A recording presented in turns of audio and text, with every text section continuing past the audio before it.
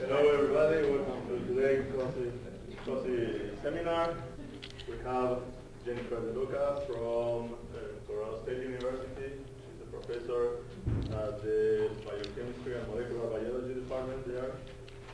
She got her PhD in molecular, cellular, and developmental biology from the University of California at Santa Barbara. Then she flew to the east for a postdoctoral position at uh, University of North Carolina Chapel Hill. Uh, among, and among her recognitions, she uh, was named a Pew Scholar in the Biomedical Sciences in 2009. So thank you for coming. Welcome. Okay. All right. Is it, yeah, perfect. Yep. Okay. All right, so thanks for the invitation to come and talk and to interact with the students in the COSI program. And for the chance to tell you a little bit about what um, my lab's been doing since we've gotten set up in, in uh, the Department of Biochemistry and Molecular Biology at CSU. So again, I was just chatting with the graduate students about hitting a balance between biology and, and non-biology. So I'm going to do my best to, uh, to give kind of a broad talk, but I really want to get into some of the specific questions that we want to ask and how these assays, these light microscopy assays, can help us answer them. But please, please, if at any point anything doesn't make sense or you just need a clarification on a term, please interrupt and maybe it can be more of an open discussion. That would be fantastic. So, okay. So um, the focus of the research in our lab is in understanding the fundamental process of mitotic um, cell division, basically how, how cells divide. And in particular, we use a combination of biochemical approaches and cell biological approaches to understand how these chromosomes, mitotic cells, are able to attach to these mitotic spindle fibers, which I'll explain later, shown in white, how these attachments are able to generate forces for chromosome movement, so they can go from a, a configuration like this to like this, and then finally, how this regulation, how these, these attachments are very finely regulated so that when the cell does divide, the chromosomes are exactly divided equally into two daughter cells.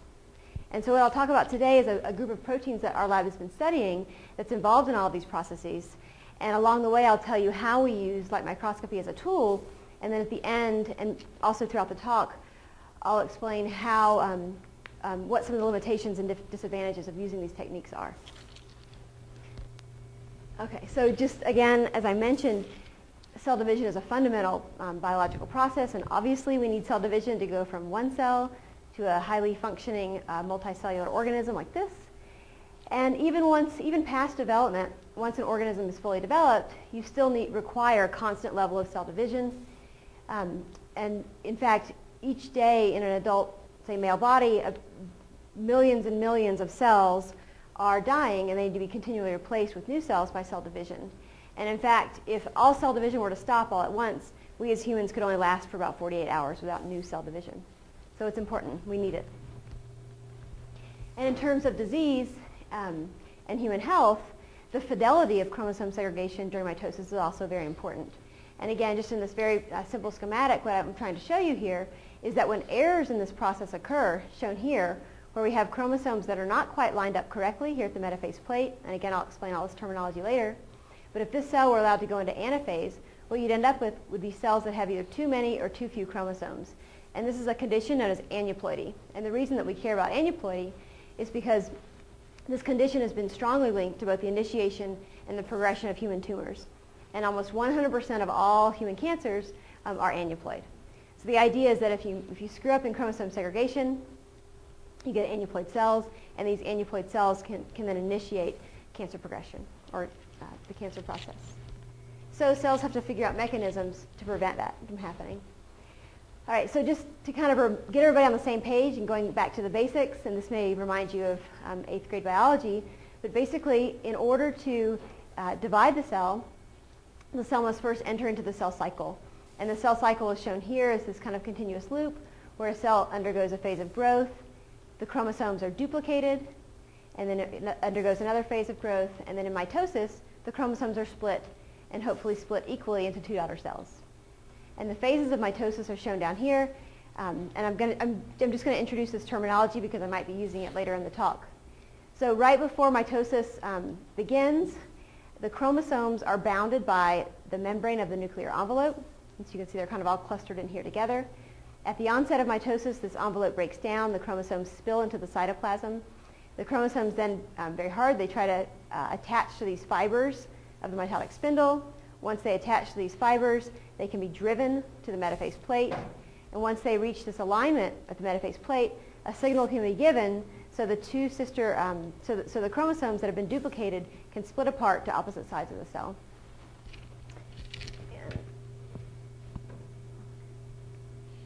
And most of these um, events, at least the chromosome movements, can be seen just looking under transmitted light. And so what we have here is a PTK1 cell. And I explained this a little bit um, earlier in the pre-talk, but basically what PTK1 cells are, they're um, derived from uh, kidney epithelium from these uh, marsupials called rat kangaroos. And so, let me just play it again. And so one reason that we like to use these cells, even though they're not human cells, is because they remain very flat during mitosis. And you can actually visualize quite a bit of the chromosome movements as they line up at the metaphase plate. And then once all the chromosomes are aligned, the chromosomes can split apart to opposite sides of the cell. So the time, so this is a 45 minute movie. Um, yep. I can't remember the frame rate, but the whole thing's 45 minutes. Yep. Okay, so this is going to be kind of the busiest slide with terminology, but I thought I would just get it out there and then we can move on. So in order for these chromosomes to get where they're going, and in order for them to have the forces generated for them to, to, to gain this alignment on the metaphase plate, they must become attached to the spindle fibers, and these are called microtubules. So microtubules are polymers of the tubulin subunit. Okay? So these microtubules, they organize themselves during mitosis in this very specific arrangement, which is called a bipolar spindle. And the reason it's called bipolar is because it has a pole here and it has a pole here, and these poles organize these microtubules emanating out from them. And that's shown in cartoon form here. We have a pole here, a pole here, and the microtubules kind of array out from these poles. So what's interesting about these polymers of microtubules is they're not simply static polymers that grow out to some length and then maintain that length at steady state. But instead, they undergo what's called dynamic instability. So these polymers, what they do at any given moment, if you were looking at the end of one of these microtubules, you would see that it's either growing very fast or shortening very fast. So rather than just sitting out here stagnantly, what you'd see is this microtubule shrinking back and growing, shrinking back and growing, shrinking back and growing, and just undergoing continuous cycles of this, proper, of, of, of, of, the, of this polymerization and depolymerization. Again, this property is called dynamic instability. So again, it, both in vitro and in vivo, these microtubules are extremely dynamic, polymerizing and depolymerizing and switching back between these two phases. So again, in order for chromosomes to get aligned here at the metaphase plate, they must become attached to these microtubules. So what's interesting is these, these microtubules then that attach to the chromosomes, first of all, one more piece of um, kind of terminology, the point at which the microtubules attach is called the kinetochore, shown as this little yellow dot. And it's actually a large protein structure built here at the primary constriction of these chromosomes. But these microtubules will capture a chromosome by binding to this kinetochore. And as I mentioned, these microtubules are constantly growing and shortening and growing and shortening and growing and shortening. So what happens once this microtubule binds this kinetochore and becomes embedded in it, it continues to be dynamic. And in fact, it's the dynamic behavior and the polymerization and depolymerization of this, of this polymer that's going to provide the force for chromosome movement. So if, you, if, you if I'm the chromosome and I have the kinetochores here, and a microtubule is embedded into the kinetochore, if that microtubule depolymerizes, it's going to whip the chromosome that way. And if that microtubule polymerizes, it's going to push the chromosome that way.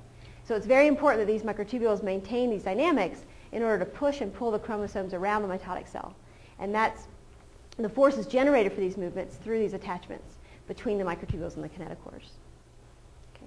And so what, what are the sizes? Okay. So let's see. He, I should have put a scale bar here. So the spindle pole from that kind of centroid to that centroid, that would measure about 12 microns and, the, um, and in terms of the kinetochores, if you were to measure the, the centroid to centroid of the sister kinetochores, um, in a relaxed state, it would be about a micron, and in a stretched state, which I'll talk about later, it's about two and a half microns. Okay. So a HeLa cell is actually quite a bit smaller than the PTK1 cell that we showed, that I showed you before, and I'll talk about that a little later. And one more thing I want to mention on the slide is that for this process to work and for chromosomes to correctly segregate, these chromosomes are, are they're comprised of duplicated sister chromatids, right? So one copy needs to go to this cell when the cell divides, and one copy needs to go to this side. So in order for this to happen, microtubules from this pole have to attach to this kinetochore, and microtubules from this pole have to attach to this kinetochore. So when the signal to split is given, the chromatids split apart, and they're each pulled to the opposite sides of the cell. Okay, so the kinetochore has this kind of very interesting job of both making and maintaining attachments to microtubules. So as a bi- uh, biochemically, you can imagine it's a very interesting type of attachment because the proteins that make the attachment have to bind very tightly to the microtubules in order to generate the forces for, the, for moving those big chromosomes around the cell. But at the same time, those attachments must be somewhat dynamic or flexible because they're constantly following a polymerizing and depolymerizing microtubule end. Right, so how do you set up a protein system that can bind very tightly to generate force, but yet at the same time be very dynamic and flexible so that it can follow a growing and shortening microtubule end? And this has been probably the major question in our field for many, many, many, many, many years. And it's still unresolved. Yes, sorry. So what we have here, um, we have a, a, chromosome is shown in blue, stained with DAPI, and the kinetochores are shown in red. And this is, I'm not sure which kinetochore marker this is, probably an inner protein. And then here we have a mitotic cell where the microtubules are shown in red, and again, the kinetochores are shown in green. What's missing from here are the chromosomes.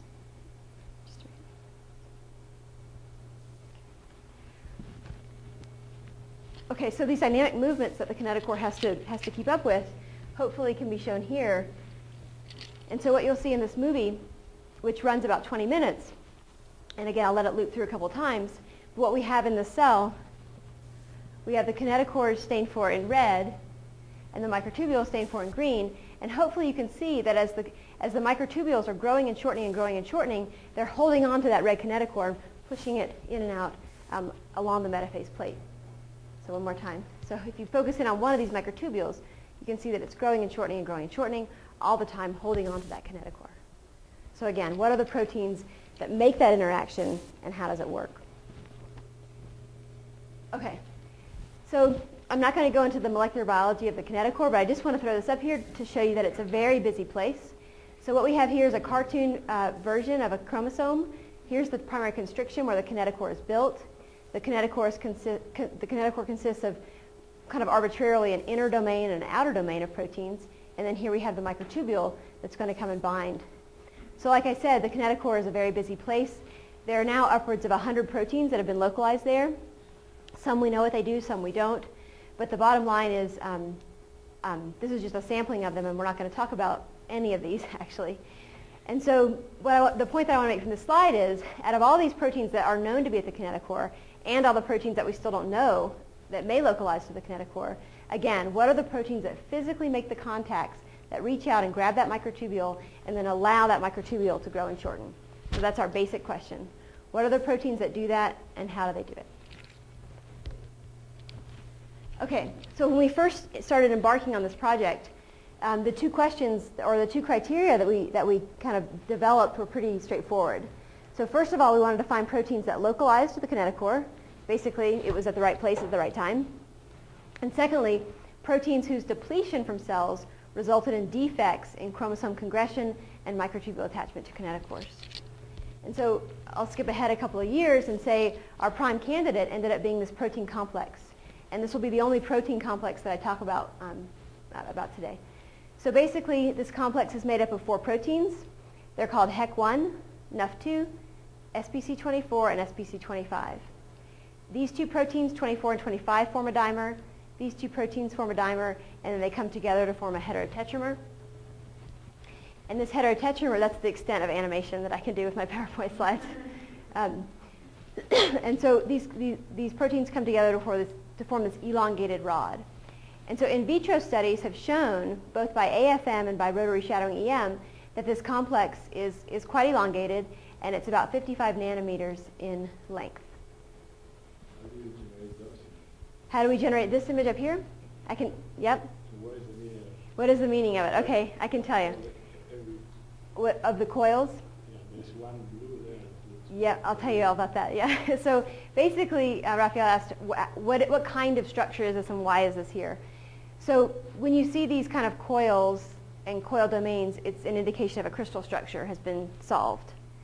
And it's not actually quite so simple with this complex of getting the crystal structure because, so it's this big elongated rod, right? And people who do X-ray crystallography, I'm not one of those people, but people who do it know that you can't have big, long, flexible rods and get crystals. You have to have kind of tightly packed domains to get crystals. So um, we, with, with, with, another, we worked with another group um, on this paper. What, basically, what, what the crystallographers did was very cool, I thought. They lopped out all of this coiled coil domain, and they fused this piece to this piece, and this piece to this piece. So they just shortened the whole complex. And so it cut out all this coil coil. And by doing that, they were able to generate crystals and get a crystal structure. So they know the crystal structure of this and this, and this is all um, fantasy. I mean, it's, it's predicted to be coiled coil, and so they draw it as a coiled coil, but that's, there is no structural data for this part. There's structural data for this and this. So. And the idea was that you could lop out the middle, uh, kind of assuming the, the, the two ends were doing the business or the important things. Okay. So again, the, you know, the first criteria was that it localizes to kinetochores. And so again, we can use immunofluorescence and use antibodies specific to our proteins of interest. And we can show um, in various different cell types that the proteins of the NDC80 complex do in fact localize to kinetochores. So here in blue we have the chromosomes. They're stained with a DAPI stain. We have the red. These are microtubules stained with an antitubulin antibody. And then in green we have uh, the kinetochores and these are marked with an anti-HEC1 antibody. So clearly showing this paired dot formation at kinetochores throughout all stages of mitosis. And again, we can replicate this in many, many different cell types. And at this point, I'll bring up another cell type that we use in the lab quite often, which are HeLa cells, which many of you might have heard of. They're human uh, cervical cancer cells that grow very well in culture. And um, in a minute, I'll tell you about the downsides of using these cells compared to, compared to these cells. Okay, so this is kind of a little side, kind of side trip off this.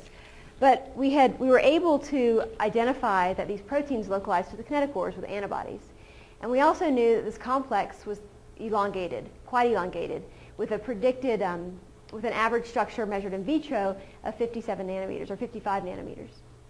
And so what we wanted to know was how is this complex specifically oriented at the kinetochore, right? Is it stuck in with this end, buried in here, with this end out or vice versa? Is it perpendicular to the structure? How is this oriented to the kinetochore? Because if we knew that, this would give us a better idea of what these different domains might be doing. Like which domain is anchoring it in, which domain is maybe interacting with the microtubules. And so what we did was a, another antibody approach using immunofluorescence, and we simply used an antibody to HEC1.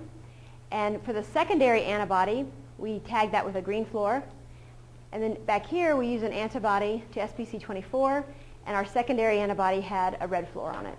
And we did immunofluorescence. We fixed the cells, did immunofluorescence, and here's a HeLa cell showing this.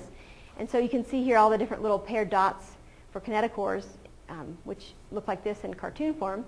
And basically, if we blow up one of these regions of this paired sister kinetochore, of this paired sister kinetochore um, group here, what you can see, hopefully very clearly, is that the green fluor is exterior to the red fluor, right? And the same case, and the same is on the sister kinetochore. The green fluor is exterior to the red fluor, suggesting that, the, that this end of the complex is anchored closer into the chromosome, and this end of the complex is sticking out, right? Does that make sense? And so we can actually go on if we can get enough photons and if we can get our, our, our centroid identifying algorithms correct, we can go on to actually measure the distance between these two. And so we can do this. I won't go into all the details. I have a couple slides if you're interested. But basically, we measure, measure, measure, the centroid of the red, measure the centroid of the green, and we can figure out the distance. And we were able to calculate that, at least in vivo, one end of the complex was about 47 nanometers away from the other end of the complex.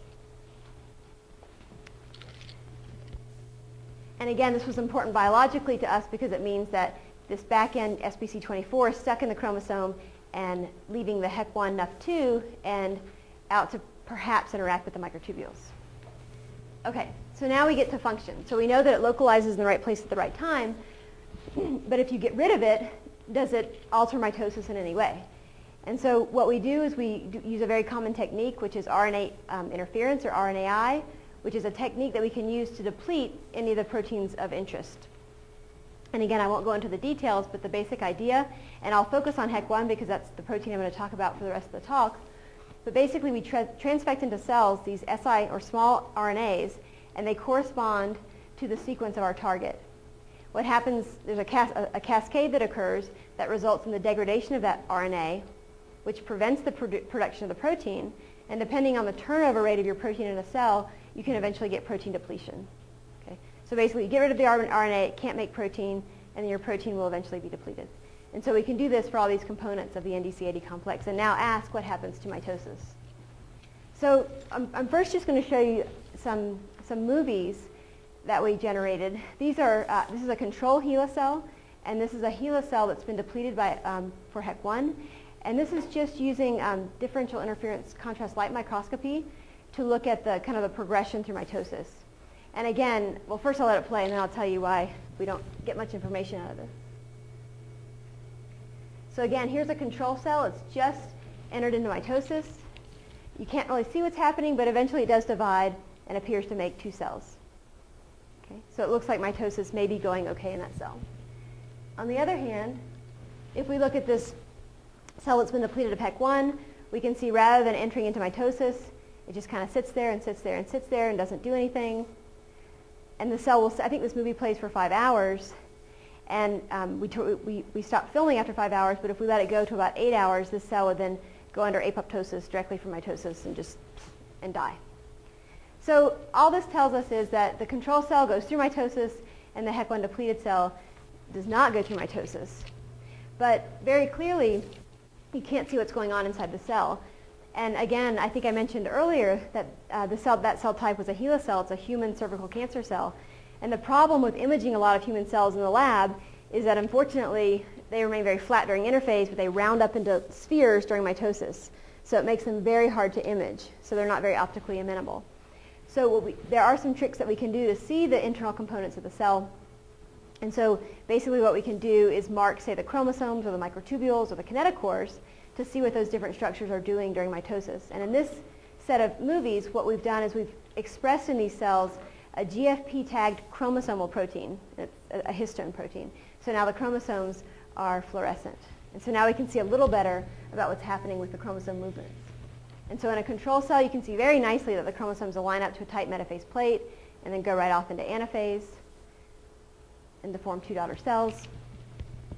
Whereas in the HEC1 depleted cell, it has a much harder time, and now you can really see the chromosomes. They're making really no progress to aligning at the metaphase plate. They're just kind of jostling around, jostling around. This movie loops, it's a two-hour movie that loops, loops around, but again, um, if we let this go for several more hours, the cell would eventually die under these conditions. Okay, so again, I just want to point out um, one of the main reasons that we do use PTK1 cells in the lab is, again, they are very flat in mitosis, and we can see quite a bit of what's happening even without using fluorescent probes. And I'll just show these very quickly. In the control cell, again, you can see very, very clearly the chromosomes line up. You can even see that last lagging chromosome coming in, and the cell divides. And then we have a disaster here where we've depleted HEC1, and the chromosomes are just all over the place. They don't know where to go. They can't align. And finally, there's this abortive anaphase and cytokinesis. So what this tells us so far is that you absolutely need these proteins, and in particular HEC1, uh, for chromosome, um, for correct chromosome segregation. But if you remember, our original biological question was, how do we link the kinetochores to the microtubules, kinetochore microtubule attachment? And so to, to, to assay or to test how, um, how this protein is involved in, in, generating these kinetochore microtubule attachments, we've developed a series of assays um, that try to get at this, try to get at this question. And so although our lab has, we use quite a few of these, I'm only going to describe three just to give you an idea of some of the light microscopy assays that we use. So one of the first ones that we use is very, very simple. It's just localization of the microtubule ends in relation to the kinetochore. So basically we just want to ask, does the kinetochore associate with the microtubule end? So again, we take cells, we fix them, we stain for microtubules with antibodies, we stain for the kinetochore with antibodies, and then we image these cells. We take about 100 um, images in a stack, and then we can, we can individually identify each of the kinetochores and ask if it's associated with the microtubule. And to help us do that, what we can do is we can deconvolve the images. This isn't the greatest example, but we can deconvolve the images and we can volume render it so that way we can look at all angles and see, you know, unambiguously, if we identify a kinetochore, we can ask if it is indeed associated with the end of a microtubule. And the advantage of doing volume renderings is, versus kind of a maximum projection or just pressing all of your images into one, is that you may be seeing a, a kinetochore that has a microtubule that looks like it's bound to its end, but it's really just passing by. But in that one snap view, you can't tell. But if you do the volume rendering, it's much easier to tell. Okay, so a second trick that we can use to assay kinetochore microtubule attachment stability is um, we kind of we utilize this property of microtubules um, and kind of take advantage of that for this assay. So microtubules are very labile polymers and they're extremely sensitive to the cold. So all you have to do is dunk the cells in the cold and all the microtubules will disappear. They'll depolymerize. Except the microtubules that are plugged into a kinetochore. That confers some kind of stability on it, right? So what you can do is you can take your cells, dunk them in, the, in ice-cold media, right? Fix the cells, stain for the microtubules, and then simply quantify the microtubule polymer in the control cells versus cells for where you've, say, depleted HEC1 right? And so the, the microtubules that are embedded into a kinetochore, they resist that cold depolymerization, and so they hang around. There's lots of microtubules. But the ones that have free ends that aren't attached just de depolymerize back. And so again, this is another functional assay that we can use to, to, to gauge whether or not stable kinetochore microtubule attachments have been formed. And the final assay that I'll, that I'll mention is one where we measure interkinetochore tension. So I've, kind of, I've tried to diagram this out here in, in cartoon form. But when both sister kinetochores stably become um, attached to microtubules from both of the opposite poles, what happens is they generate a pulling force that actually stretches the kinetochores away from each other. Okay? When kinetochores are not attached to microtubules, there's no pulling force and they're, set, they're, to be at they're said to be at rest length.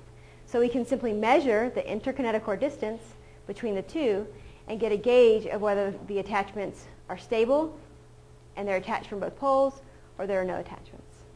So again, it's a nice kind of marker of whether or not the kinetochore microtubule attachments are stabilized. Okay. Okay. So basically, what I, what I want to say here is we know that if we um, if we carry out all these assays in control cells, we see we see nice attachment of kinetochores to microtubules. We see a high level of microtubule polymer. We see high, we see nicely stretched kinetochores. But if we do this for our HEC1 depleted cells, again, we see no attachment of microtubules to kinetochores. We see very low microtubule polymer and very low interkinetochore distance. So basically, this tells us pretty clearly that you require this complex to generate stable kinetochore microtubule attachments.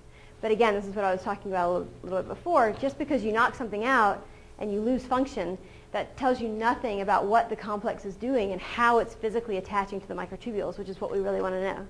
We know, and we, we have a, we're a step forward because we can knock it out and we don't have attachment. But how it attaches is still what we're very interested in understanding.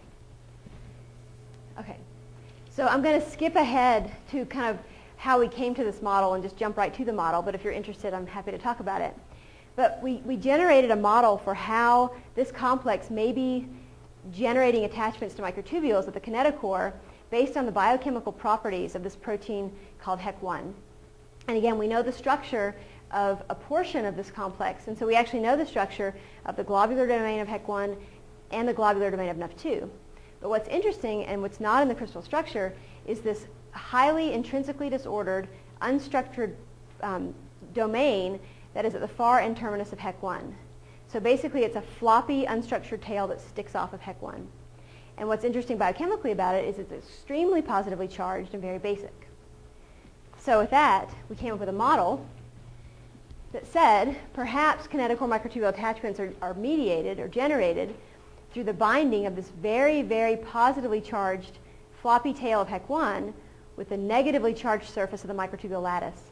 So we know that the tubulin subunits that make up microtubules also have these little unstructured tails, which happen to be acidic and very negatively charged. So kind of a very simplistic view a very kind of simple hypothesis to test would be that the interactions are mediated through the positively charged tails of HEC1 and the negatively charged surface of the microtubule lattice by electrostatic interactions. Okay. okay. So how do we test this? If this is our hypothesis, how do we test this? So again, we're going to use um, RNA interference, but basically in this experiment, we're not only going to deplete HEC1, but we're going to transfect back into the cells either wild-type functional HEC1 or mutant versions. Okay?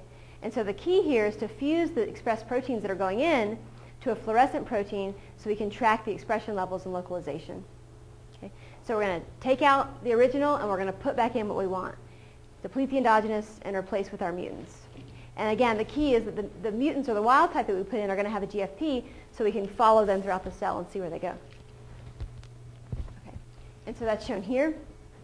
So remember when I showed you when you knock out HEC1, it's a mess. Chromosomes are all over the place. You can't align. You can't attach. But if you knock out HEC1 and now put back in the wild type control normal version with just a GFP tag on it, what you can see is this, this now exogenous protein can bind to the kinetochores very nicely and in fact, it can rescue all those phenotypes. You get a nice metaphase plate, kinetochore microtubule attachment is restored. So by putting back in the wild type version, you can rescue that phenotype. However, our experiment then was to just lop off that tail that we think is doing all the binding.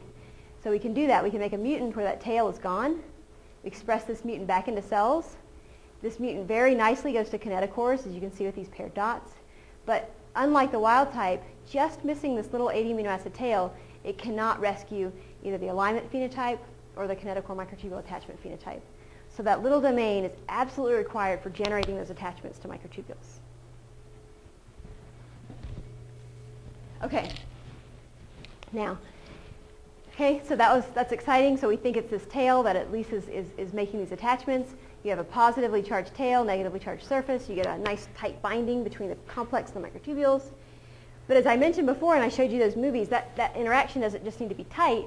It has to be regulatable and fluid so that it can, when it needs to, it can bind loosely so it can go down the microtubule lattice. And in many cases, which I didn't talk about, microtubules actually have to, or kinetochores have to let go of a, of a microtubule altogether if there's an incorrect attachment made. So even though we, we feel very strongly that this tail mediates this strong interaction, we're still left with the idea that we need to figure out how this interaction is regulated. And so the strength of the attachment must be very finely regulated to allow not only for release of incorrect microtubules, but for fluid movement of kinetochores along the depolymerizing and polymerizing lattice. So, so here's what we were thinking.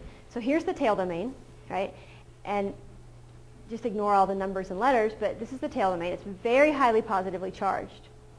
But what we have shown just recently, and again, I'll, I'll, I'll get to the punchline in just one second, but what we've shown recently is that this tail domain can be phosphorylated by a very important mitotic kinase. So, that, so what that means, basically, is that this kinase can put on negatively charged phosphate groups all along the tail.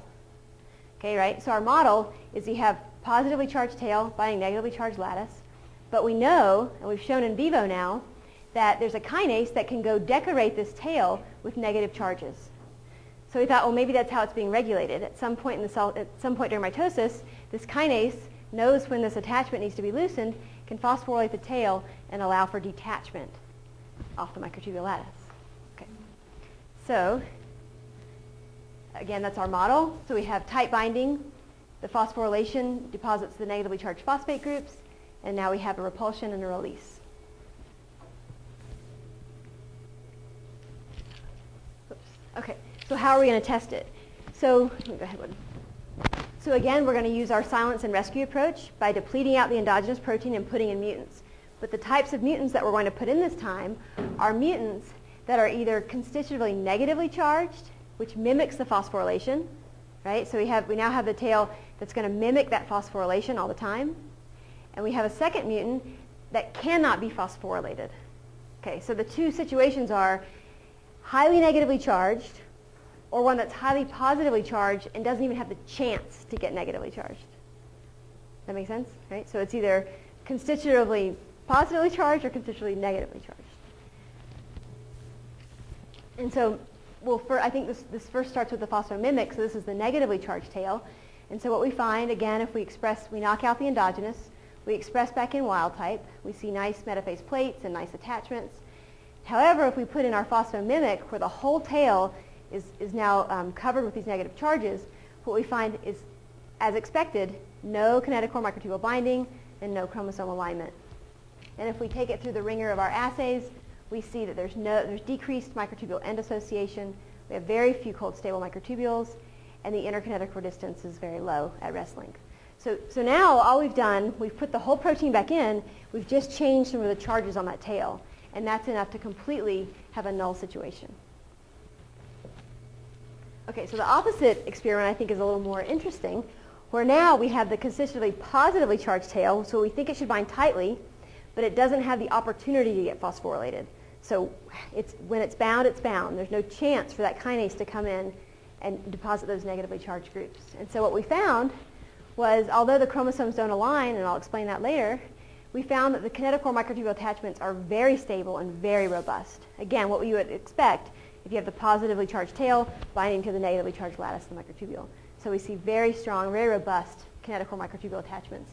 And I'll go ahead and tell you kind of the punchline, but basically what we see when we look at live cell images is we see once a kinetochore makes an attachment to a microtubule in this situation, it doesn't matter if it's a correct attachment, an incorrect attachment, it's stuck like glue and they just can't let go. So the movies, you end up seeing these chromosomes that get attached and they're just stuck. They can't go anywhere. So for instance, if you have, so one of the spindle poles is here and one is here, so you're supposed to be attached like this, right? What, what these chromosomes do is sometimes by accident, they get attached to microtubules from the same pole like this. And so you can see them just sitting there, like struggling against that pole because they cannot break those attachments, because they can't get phosphorylated to reduce that charge to cause the release. Okay. And again, we take it through, the, through these experiments. We see high level of microtubule end-on association. We see abundant cold stable polymer and hyper-stretched, very stretched kinetochores. Okay, and so this is getting at what I was saying, was that we know that if you, if you, if you have hyperphosphorylation, you can't bind at all. If you have absolutely no phosphorylation, you bind very, very tightly. But the question we wanted to ask, is there some level of phosphorylation that you require to, to do that fluid movement from kinetochores along microtubules? And the way that we tested this was to actually look in the cells and to measure the kinetochore movements or oscillations in a wild type situation or this phosphomutant that can't be phosphorylated. Oops. And so in the wild type situation here, we're just looking at the kinetochores, and the movements that you see are being driven by the attached microtubules that are pushing and pulling by depolymerizing and polymerizing. So again, all you're seeing are the kinetochores, but these guys are all attached to microtubules. And so if you follow a pair, you can see that they're, they're undergoing these excursions between the two poles, kind of back and forth in a coordinated manner.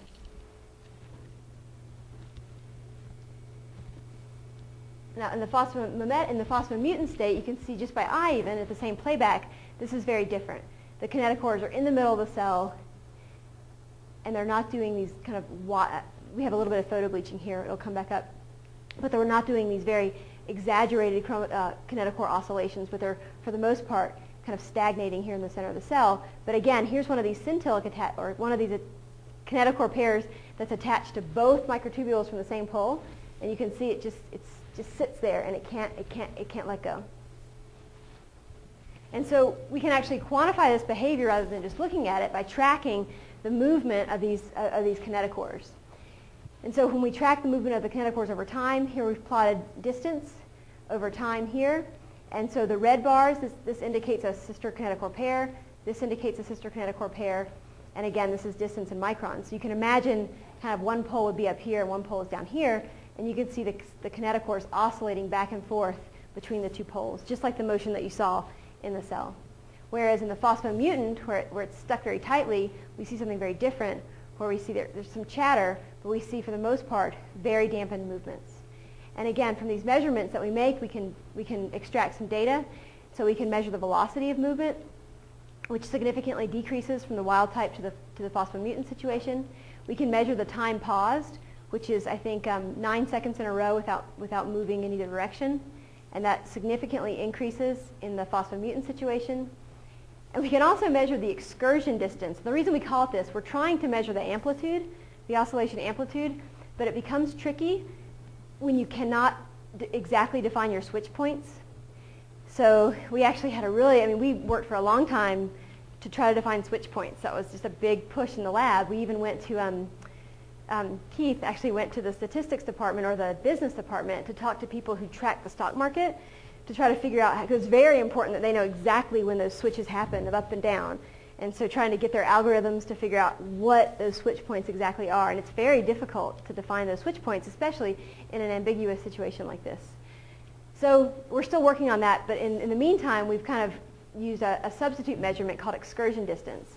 And basically what we do is we, we look at the average, uh, let's see, the average um, position of these two kinetochores, and then we measure the deviation from that average position. And that's kind of our, our excursion distance. But the bottom line is that these, the, without, without having phosphorylation on this tail domain, um, they're stuck. Okay. So this, I mean, this led to the idea then that when you have these attachments, they can't be phosphorylated. You know, by doing these measurements and looking at these movies, it suggests that we've now hyperstabilized those attachments, but we don't, but we can't say that for sure. So in order to measure that with DEFINITY, what we did was we carried out experiments using photoactivatable tubulin to measure the turnover rate of those kinetochore microtubules in this situation. And so I'll just go through it very briefly here. So the hypothesis, again, is the prevention of phosphorylation prevents those microtubule plus ends from exhibiting dynamic behavior. They're locking those ends down. And so we would, we would predict they're hyperstabilized. And so the experiment then is to measure the turnover rate of the microtubule ends in living cells. And of course, our prediction would be the turnover rate is high in control cells and then low in cells where the HEC1 cannot be phosphorylated. And so the way that we do this is that we use cells expressing photoactivatable tubulin. And you guys have probably heard about this maybe in this lecture series, but basically the microtubules contain tubulin fused to GFP. It's, it's photoactivatable GFP, and the, and the photoactivatable GFP only becomes fluorescent after a pre-activation exposure to light.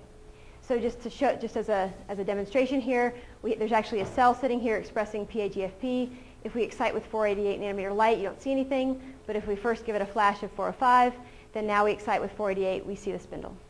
Okay, so the experiment then is to focus a laser into a bar-shaped region right onto the mitotic spindle and activate the GFP fluorescence in this little region only and then measure the fluorescence dissipation over time. Does that make sense, right? So we activate that region, it becomes fluorescent. We measure the fluorescence dissipation over time to get a half-life of those microtubules embedded in that kinetochore. Okay, so what I've done here is kind of draw a schematic of what we're going to see in the movie because it's, it's not as, as obviously as clean and straightforward as this, but it'll give you an idea of what's happening in the movie. So again, we're going to focus the laser. So we activate a bar of fluorescence only in this one little region here. And so it's going to activate the tubulin subunits within that region. And then over time, the tubulin subunits are going to, the, the fluorescence in those subunits are going to dissipate. But what makes this complicated is that there's another biological process happening here which is called flux, and the tubulin subunits are actually going to flux down the fiber, but just try to ignore that and focus on the dissipation of the fluorescence. Okay, so that movie is shown here, and again, we're going to flash it. We're going to flash. The, I think the laser is going to go right here, and so it's going to activate the tubulin just in this small little area. So you saw a big flash. So here are the activated regions, and you can see over time, not only do they flux towards the pole, but the fluorescence dissipates out of that spot. So what we can then do is we can measure this and we can fit these data to a double exponential curve. And the reason we have to do that is because there are multiple populations of tubulin that we've activated in that bar. And so we can differentiate from those populations by using a double exponential curve. But the bottom line, in wild-type cells, we find that the kinetochore microtubule half-life is about 8 minutes by doing these experiments. And then finally, I think this is the final experiment of the talk. We now, the um, the big thing to do is to now do these measurements in the, in the cells that are expressing the phosphomutants. So HEC1 cannot be phosphorylated. We predict hypertight binding. And so hopefully you can see there's going to be a laser there. And so this, uh, this bundle of fibers has been activated. And you can see that it, not only does the fluorescence remain high throughout the end of the movie, but it also doesn't flux down the fiber, which is a whole different thing. But from these data, again, we can calculate the dissipation, fit it to a double exponential curve, and we can calculate that now the, half, the half-life of these kinetochore microtubules is now 38 minutes.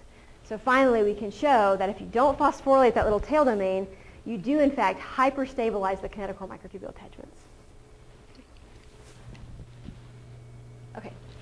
And this is just kind of a summary of what we talked about. The kinetochore microtubule attachment is mediated through the NDC80 complex. And importantly, the tail domain of the protein, of the HEC1 protein, regulates the binding strength so that to, to allow not only release of microtubules, but to allow fluid movement along polymerizing and depolymerizing ends. Okay, so now, given this kind of class format, I wanted to summarize some of the assays that we use um, um, and kind of that I've used as an example, our biological process um, was an example of. So first of all, hopefully I showed you that we can localize proteins in the cell using light microscopy. Um, I would say not very precisely, but we can at least localize them in a general area. We can follow the dynamic behavior of certain protein populations using fluorescent protein probes and live cell time-lapse imaging. Using quantitative laser-based assays such as photoactivating, like I showed you, and photobleaching, we can measure the turnover rates of proteins of interest. And what I didn't talk about today, um, we can actually measure protein-protein interactions to some degree within the cell by using, by using techniques such as FRET, which is fluorescence resonance energy transfer, and BIFC, which is bimolecular fluorescence complementation. And this is basically where, where you take a half of a GFP and you stick it on one protein, you take the other half of GFP and stick it on the other protein, if those two proteins interact in the cell, the two halves of GFP will come together and fluoresce. So it's a way of, of determining whether or not you have two proteins in your cell that can find each other and interact. And then finally, we discussed quite a few of um, the assays that we use to measure biological functions. So I'll end with just a couple of slides discussing the disadvantages and limitations that we, at least in our lab, feel um, in using these light micro microscopy assays. And the first one is that the functional assays are usually confounded by the complexity of the cell. And again, I discussed this a little bit before, but the idea is that if you knock out a protein and you cause an effect to a process, that doesn't mean that you haven't knocked out a protein, which has then initiated some cascade of other protein function, and it's now the protein at the end of the cascade that's doing your job right? So protein A may bind to protein B, protein C, protein D, protein E. And it's actually protein E that's doing your job, but you've knocked out protein A.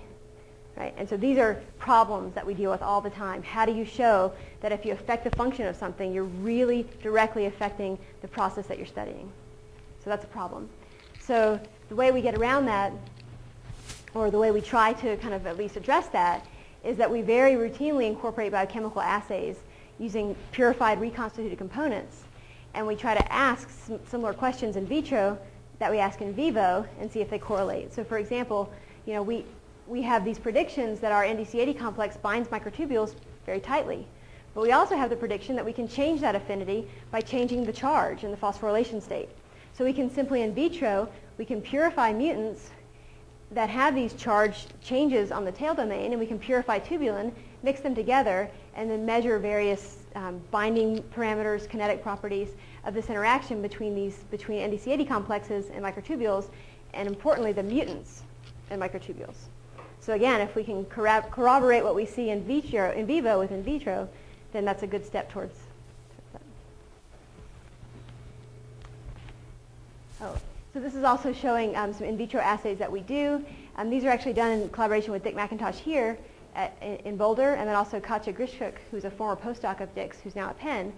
And what they've been doing with some of our proteins is actually measuring um, single molecule NDC80 complexes along microtubules and measuring their ability, ability to, diffuse. So from experiments like this, where we have microtubules that you can't see, um, we have NDC80 complexes that you can see in GFP, and here we have, this is a kymograph with time on this axis and distance on this axis we can actually see that some NDC80 complexes just sit there on microtubules, some actually move along microtubules, and from these types of data we can calculate lots of um, very helpful um, information such as the diffusion rate, the residency time, and the K on and the K off rates.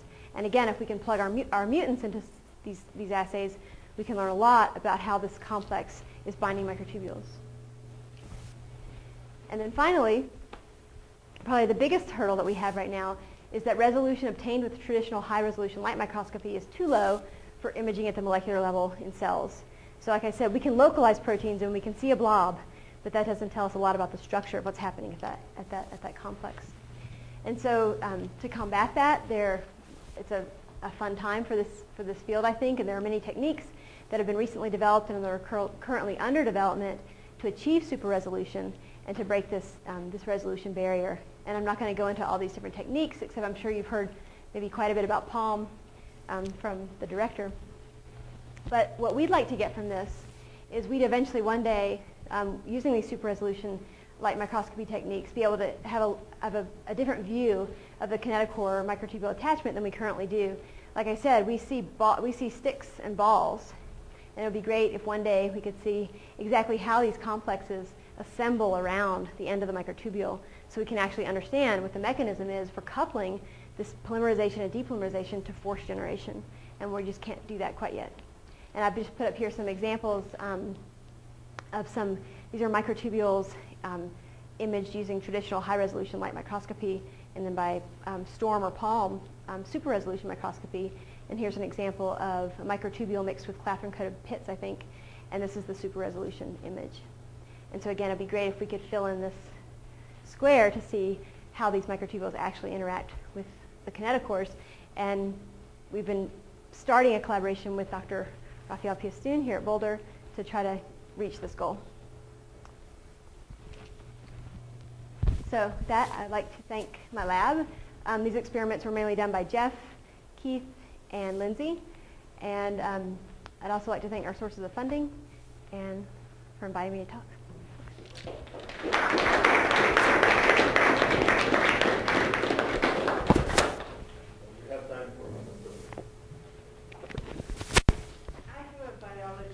Okay. You mentioned earlier that um, in your mutant or your damaged cell that sometimes micro, microtubule, two microtubules from the same pole yes. stick to the sister chromatids, the kinetochores of the sister chromatids. If your mechanism is this dynamically varying charge, what's to prevent the that happening in a, in a normal wild type cell that both Yes. And the answer is that does happen all the time in normal cells. You get those syntelic attachments. Is that what you're asking? Why don't you get those attachments? Well, so what happens in a normal cell is, and I didn't go into this, but before they become beautifully attached, it's a mess. You have kinetochores with attached microtubules from both poles. You've got a kinetochore attached to a microtubule from this pole and this pole. It's called merotelic. And so what, what has to happen is there's a signaling pathway that induces phosphorylation on that tail, that's what we think, to release that microtubule altogether. But what is the checkpoint that tells mm-hmm. the kinetochore that it's linked to the wrong pole? Okay, so the checkpoint that, so in this situation where you have both, this one. Let's say you have the same pole Same pole, yes. Okay, so that's syntelic. So the, the checkpoint for that is that the sister kinetochores are now very close together. They're not under that tension. And so it's thought that the, the actual checkpoint mechanism, so cells going through mitosis do have a very robust checkpoint. If all the kinetochores are not attached and under tension, the checkpoint will halt cell cycle progression and allow those errors to be corrected. So it's thought that one of the signals for checkpoint is actually tension. And so if, you're, if you have both sisters attached to the same pole, those aren't under tension. They're very close to each other.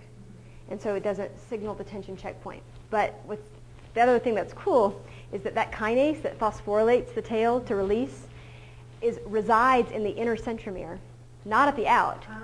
So if you're, if you're not under tension and if you're really close together, the kinase population can actually very easily phosphorylate the kinetochores. But once you get stretched out, the kinase is far away from the substrate, and so it can't phosphorylate, so you get stable attachments.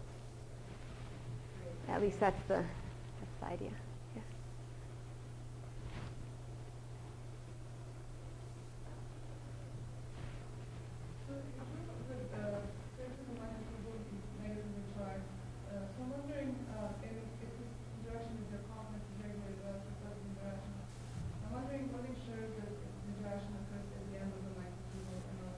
Mm-hmm. That's a good question. And so we, you know, we've addressed this and thought about this a lot. And so uh, what we think is that when we express HEC1 in the cell, or if we just look at the population of HEC1 in the cell, it's exclusively localized at the kinetochore and not in the cytosol.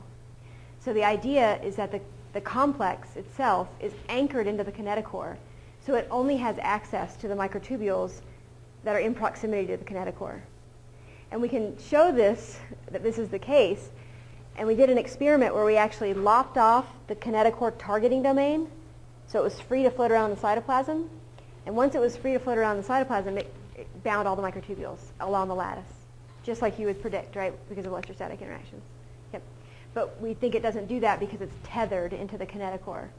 And it actually gets tethered, so kind of an, an intricacy of the, of the cycle is that the nuclear envelope keeps all the chromosomes away from the cytoplasm until right at the last minute, right?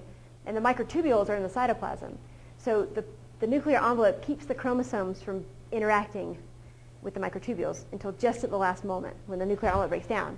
And the kinetochore is actually built prior to nuclear envelope breakdown just so what you mentioned doesn't happen.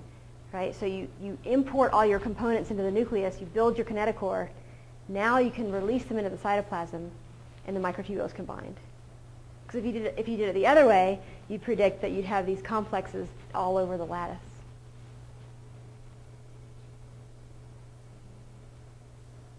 One last question. Um, How do you get the phosphorescent dyes inside the cell, and do the phosphorescent dyes have any effect on the health of the cell? Right. So for the most part, for, for the antibody dyes, the cells are already fixed and stained and dead. So they're fine. And they are cell permeable. Well, we actually permeabilize the cells before we do the experiment, and then they're cell permeable. So the, the, the, the dyes conjugated to the antibodies, and those cells are already dead. But for the live cell experiments, for the most part, we use fluorescent proteins, which are non-toxic to cells. And so when we encode the protein um, on a plasmid that we now insert into the cell, that plasmid is going to encode the, the formation of the protein we want. And all we've done is we've added the sequence for that green fluorescent protein to the back end of our protein. So when the cell, so when the cell machinery decides to make that protein, it makes your protein of interest, and then it keeps reading into the green fluorescent protein and just tags that onto the end of it. And so now, thanks to um, people like Roger Tsien and others, we have a whole color toolbox. We have plum and cherry and tangerine and citron and every color that we can use. The other option is you can inject dyes right into cells, and we do that a lot too. And you have to be careful that you use a dye that's not toxic. Last, last, last question. So is there an assumption that when you sort of, if it's there, does it maintain its conformation, the protein, does it maintain its conformation or does it fall apart? Yes, and so the, the way that we maintain conformation is we put it in a fixative. That, and so the idea is that the fixative you know, fixes everything where it is. And it, of course there are artifacts from fixation that do occur, but the idea is that you're fixing it in a way that maintains the original. I mean, and it's a tricky, I mean, it, that whole, you could have a whole talk just on that about fixation because, you know, what do you put into your fixation mix? If you have proteins that are phosphorylated, you have to make, you have to put in phosphatase inhibitors. You have to, you really have to think about all the different things that could be happening to your proteins and try to mimic the in vivo alive state. So it's, it is, I mean, it's a good question. Yeah. Okay. Let's- thanks. Okay.